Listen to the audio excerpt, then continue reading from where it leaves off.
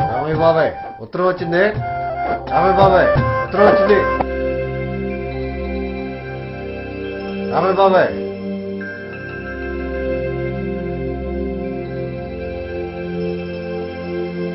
ఎవర్రా నేను బాబాయ్ శ్రీని. యాడ్నించిరా ఇంకెక్కడి నుంచి బాబాయ్? మీ అబ్బాయి హరిబాబు దగ్గర నుంచి. యుఎస్ఏ. వెళ్ళొస్తా బాబాయ్. ఆ, మంచిదిరా.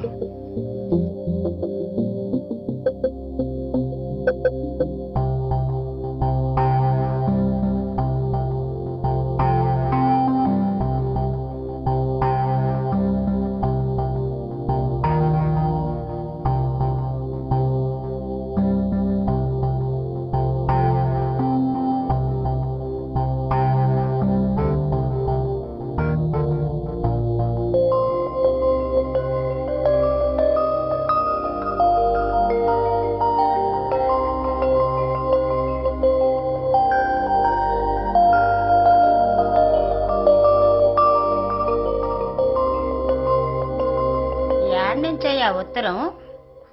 ఏంది అట్టా ఉండవు? ఏమైంది?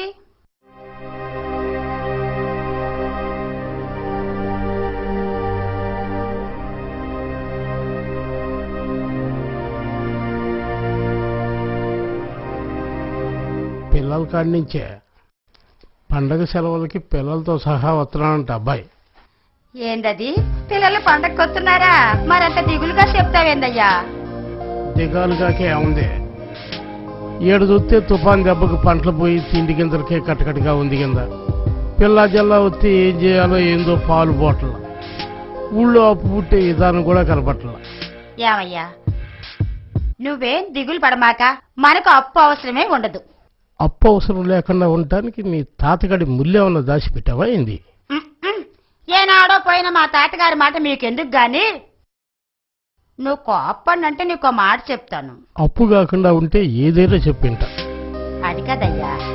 నేను నెల నెల పోస్ట్ ఆఫీసులో కొంత పొదుపు చేస్తూ వస్తున్నాను. దాపెట్టానికి నీ దగ్గర డబ్బులు ఆడయే నీకు చెప్తే వద్దంటావని. నేనే నీకు తెలియకుండా పాల మీద వచ్చే డబ్బులు నెల నెల రెండు వందలు పోస్ట్ ఆఫీసులో జీవిత బీమా కడుతున్నానయ్యా. ఐదేళ్ళ నుంచి కడుతున్నాను. ఐదేళ్ళ కాడి నుంచి కడతనా మ్మ్. అవునయ్యా మన పోస్ట్ మాస్టర్ కనపడితే ఏదైనా అవసరం వస్తే దాని మీద లోన్ తీసుకోవచ్చు అని చెప్పాడు. పిల్లలు వచ్చేలోపు ఆ ఏర్పాటు చేసుకుందామయ్యా. అట్లాగే. మొత్తానికి గడుసాని అనిపించావే. ఇంతకాలం నాకు తెలియకపోయినా పోస్ట్ ఆఫీసులో అంత మంచి అవకాశం ఉందని చాలా తెలివిగా పని చేసావే అంతే కాదయ్యా. అనుకోకుండా నాకేదన్నా జరిగి నేను చచ్చిపోతే? సీతాలు ఆహా ఊరికి నేను అంటున్నానయ్యా. అనుకోకుండా నాకేదన్నా జరిగితే అదేదో నామినేటయ్యా అది నీ పేరు రాశా. అంతే కాదయ్యా ఆ పాలసీ మొత్తం డబ్బు బోనసులు కలిపి మనూరు పోస్ట్ ఆఫీస్లో నీకే ఇస్తారంటయ్యా.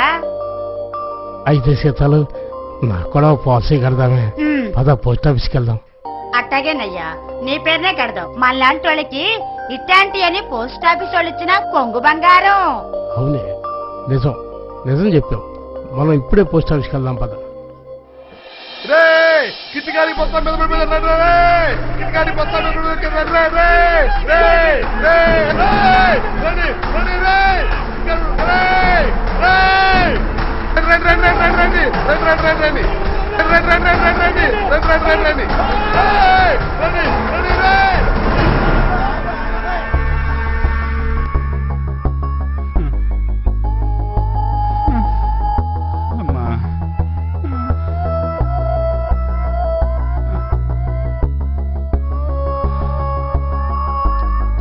రంగమ్మా రంగమ్మా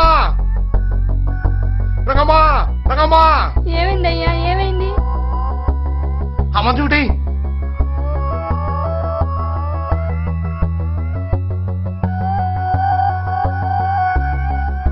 ఏమైందయ్యా? ఏమైంది? చేతిగా కట్టింది నా పేరు వీటికి?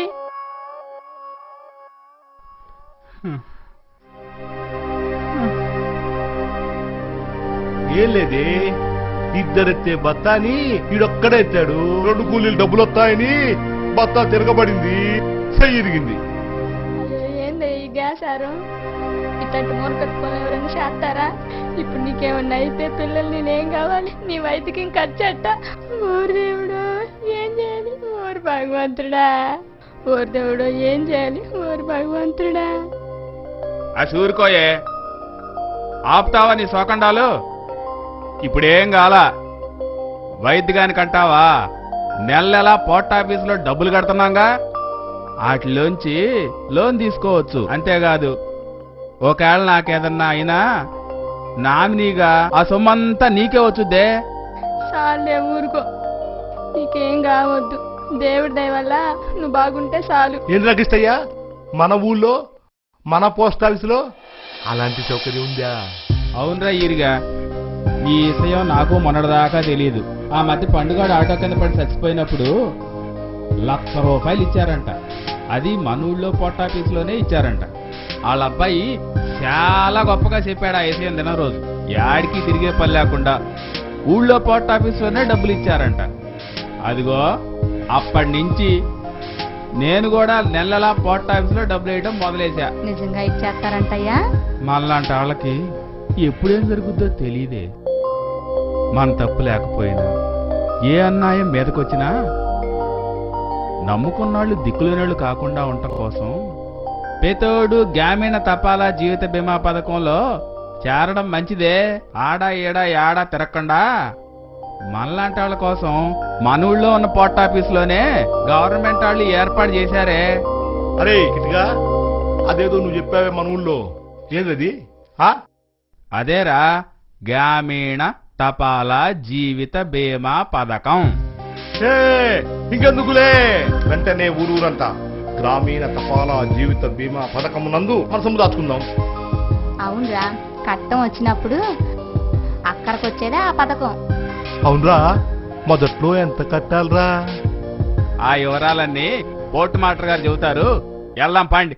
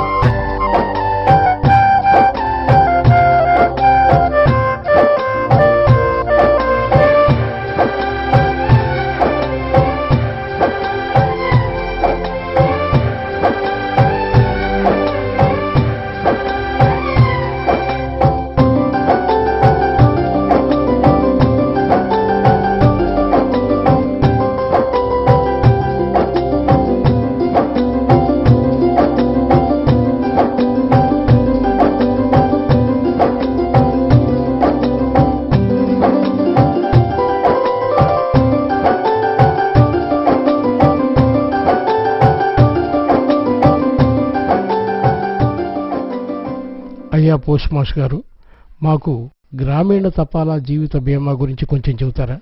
సమయానికి ఎస్పీ గారు వచ్చారు. మీరందరికీ వివరాలు చెప్తారు రండి. అయ్యా నమస్కారం. మేమంతా చినగాజలవరం గ్రామ ప్రజలం సార్. గ్రామీణ తపాలా జీవిత బీమా గురించి చాలా గొప్పగా చెప్పారు సార్. ఆ వివరాలన్నీ తెలియజేస్తే మా వాళ్ళకి కొన్ని సందేహాలు ఉన్నాయి దయచేసి వివరాలన్నీ తెలియ తప్పకుండా అండి ఇది కేంద్ర ప్రభుత్వం గ్రామీణ ప్రజల కోసమే ప్రవేశపెట్టమన్నట్టు ఒక మహోన్నతమైనటువంటి ఒక స్కీమ్. ఈ గ్రామీణ తపాలా జీవిత బీమా అంటే ఏమిటంటే ప్రతి మానవుడికి కూడా ఇన్సూరెన్స్ అనేది చాలా అవసరమైన విషయం అయిపోయింది ఈ రోజు. కానీ పట్టణాల్లో ఉండేవాళ్ళు ఏదో రకంగా ఇన్సూరెన్స్ చేయించుకుంటున్నారు. అక్కడ వాళ్ళకి ఏజెంట్లు అందుబాటులో ఉన్నారు కార్యాలయాలు అందుబాటులో ఉన్నాయి కాబట్టి వాళ్ళకి చాలా తేలిగ్గా ఉంది. పల్లెటూళ్ళలో ఉండే వాళ్ళకి ఈ ఇన్సూరెన్స్ అనేటువంటి ఒక సెక్యూరిటీ సరిగా అందట్లేదనే ఉద్దేశంతో. ఎందుకు అందట్లేదంటే పట్టణాలకు దూరంగా ఉన్న ఈ పల్లె ప్రజానీకానికి బీమా సౌకర్యాన్ని కల్పించాలనే ఉద్దేశంతో కేంద్ర ప్రభుత్వం పంతొమ్మిది వందల తొంభై ఐదులో గ్రామీణ తపాలా జీవిత బీమా అనేటువంటి ఈ పథకాన్ని ప్రవేశపెట్టింది.